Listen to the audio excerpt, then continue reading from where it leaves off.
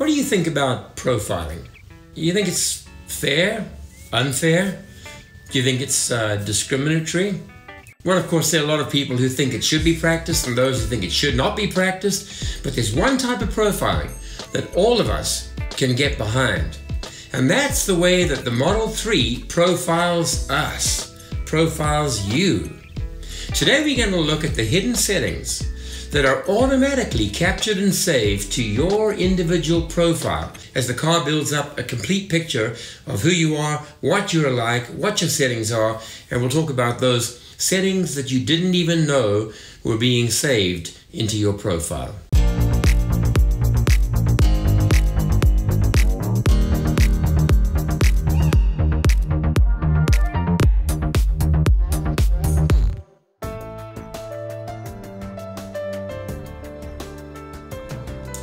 Hi folks, welcome back to the Model 3 Man channel. I'm Peter Levey. This is episode number 50. It is the end for now. It's not the end of the tip of the day, but we're going to take a temporary pause. I've mentioned that before while I get into much more serious and important video uploads.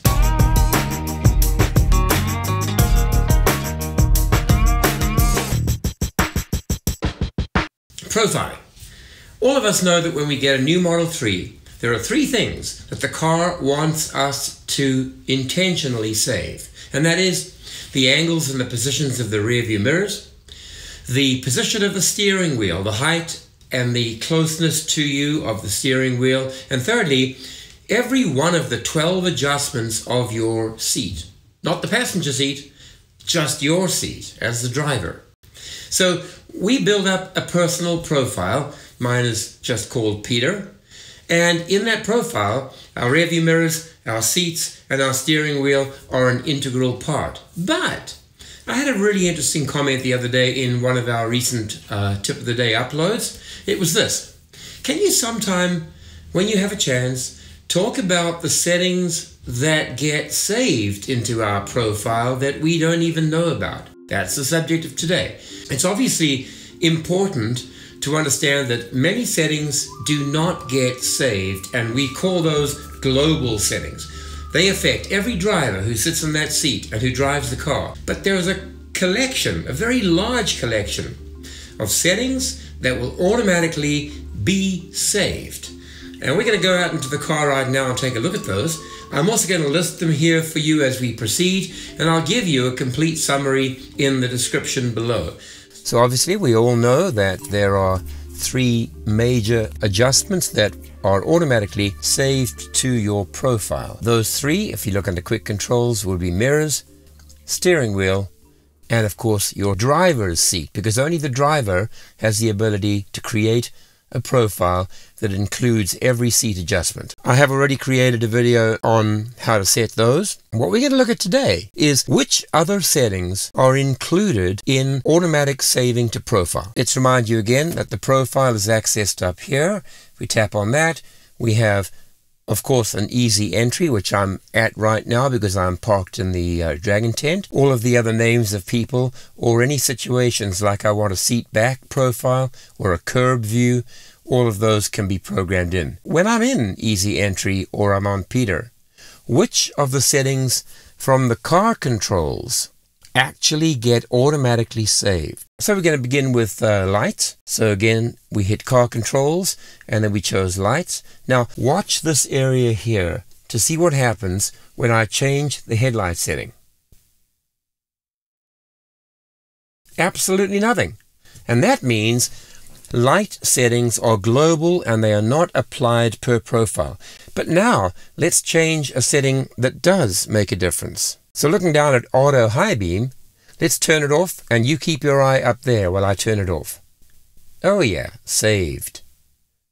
Turn it back on again. Saved. The settings that show the word saved next to the profile are the settings that actually get affected on a per profile basis. So that easy entry would have its own, my Peter profile would have its own, Janine could do hers. And there are a long list of them. We're going to go through pretty quickly. In the lights section, there are only two. There is headlights after exit. There, you see it saving. Steering wheel lights? No. Auto high beam? Absolutely yes. So those are the two under lights. Let's go to locks. So looking at locks, obviously my phone is connected to my Peter profile. And that means when I approach with my phone, it's automatically going to go into the Peter profile when I start driving. Let's scroll down to some of the settings that are in the locks section. Unlock on park, meaning unlock the car when you put it into park. Yeah, that saves. Lock confirmation sound. When you walk away, you hear the little beep, tells you it's locked. That is saved per profile. And finally, walk away door lock, meaning you walk away. As soon as you're out of range, the door just locks. How about under display? It's interesting to note that none of these make a difference. If I put it on auto, you didn't see it saved. If you change language, you're going to require a complete reset, a complete reboot of your system. So we don't want to do that. But how about time format? If we change it to 24 hour or we keep it as 12 hour, yeah, that saves. Energy display, that is a setting that goes into your profile. Same with distance and the same with temperature. All of those. Uh, how about tire pressure, bar, or PSI? Nope, that is not saved as part of the profile. It's a global change that you're making. Let's go to driving. Under driving, all of these acceleration, that saves into your profile. Stopping mode, that saves into your profile. Regenerative braking, that saves. And finally, the type of stopping mode, creeping or rolling or holding, that will save into your profile.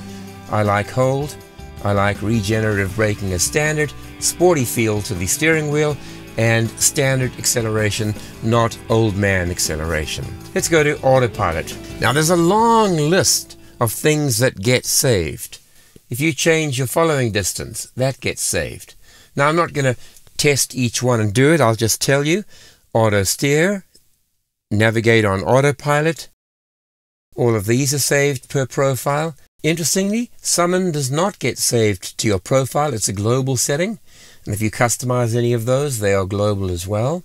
Speed limit warning gets saved. Speed limit, relative or absolute, that gets saved into your profile. Forward collision warning is another one that is automatically saved. So is lane departure avoidance, and then emergency lane departure avoidance and blind spot collision. Now, automatic braking is not saved. Obstacle aware acceleration is not saved.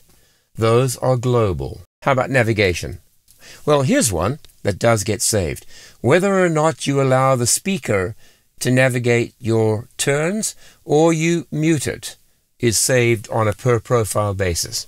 Automatic navigation, trip planner. You'll notice that online routing is not saved per person. How about these? Avoiding ferries, avoiding tolls. Yeah, they get saved.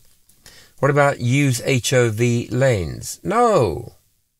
HOV lanes is global. Let's go to safety and security. So under safety and security, we have a whole lot of settings that again will be applied. Speed limit mode does not get saved to a profile. Sentry mode, on or off, let's see. No, it doesn't. So sentry mode is global. How about dash cam? Save clips when you honk. Yeah, that gets saved in your profile. So here's one. Park assist chimes. That gets saved. Joe mode, which reduces the sound of the uh, alerts so that it doesn't waken people in your car who may be sleeping. Joe mode is on, that gets saved. Pin to drive, no, it doesn't. If you put a pin to drive, it's global for every driver and it's not a per profile thing. There we are under service. None of these are added to your profile. And under software, none of these are added to profile because if I change from advanced to standard and back to advanced, Nothing occurred up at the top there, nothing changed. How about climate control? Well, there are certain things about climate control that will be saved. The temperature I set. Watch this, saving. The synchronization settings. Sync, yeah, that got saved. So I can split them and it saves the right side, split, save the left, but I can go back, of course, and say synchronize, and that gets saved. Seat heaters, let's turn the right passenger, front passenger seat on, and you watch up the top there. Yeah, saving that. How about air vent direction? Watch the setting up there as I move this. Oh yeah. And again. It's come straight toward me. Vent direction is saved. And that's it. What about audio settings? Well, interesting. If I go into audio, the tone settings, the balance settings, or the options, none of them are saved to a profile. None of them. They are global. So whatever person gets in the car, they're going to have to accept my balance position and my tonal adjustments. Station settings, none of those are saved into your profile. The car does remember the last thing you were in, but it's global.